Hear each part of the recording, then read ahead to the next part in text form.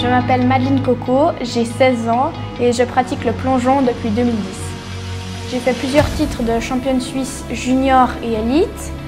J'ai participé au championnat du monde et mon meilleur résultat était quatrième au championnat d'Europe et troisième en Grand Prix élite en synchronisation 3 mètres.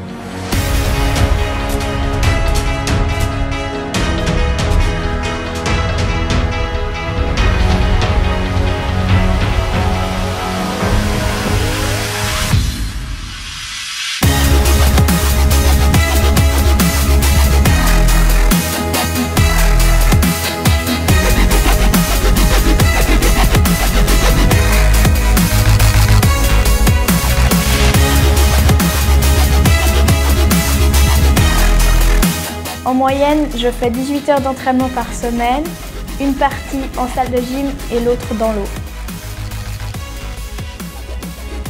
Mes points forts sont euh, ma rapidité de rotation et euh, ma persévérance surtout. Les points à améliorer sont les finitions des plongeons et la confiance en soi.